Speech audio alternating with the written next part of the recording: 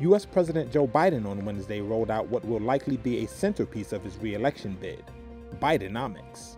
Bidenomics is working. When I took office, the pandemic was raging and our economy was reeling. Today, the U.S. has the highest economic growth rate, leading the world economies since the pandemic, the highest in the world.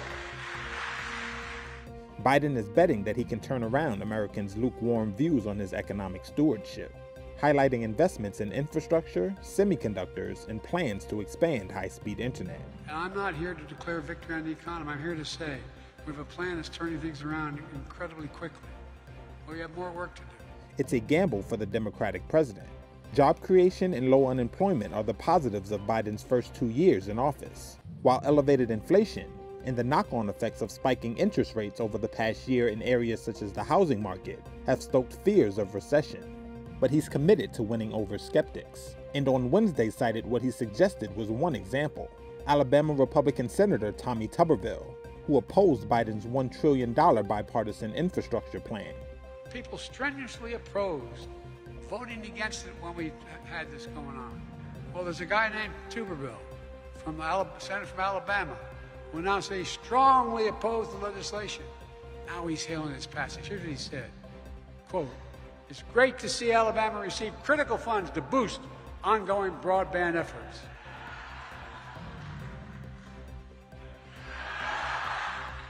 Biden added that the next phase would include making the federal tax system fair by eliminating loopholes for the wealthy. Whether Biden's message Wednesday will break through is an open question.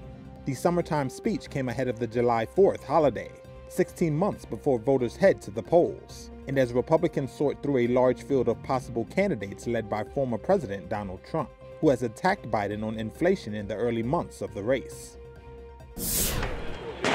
Angry protesters set cars ablaze and shot fireworks at French police on Wednesday in the working class Paris suburb of Nanterre. It was the second night of unrest following what President Emmanuel Macron called the inexcusable fatal shooting of a teenager during a traffic stop there.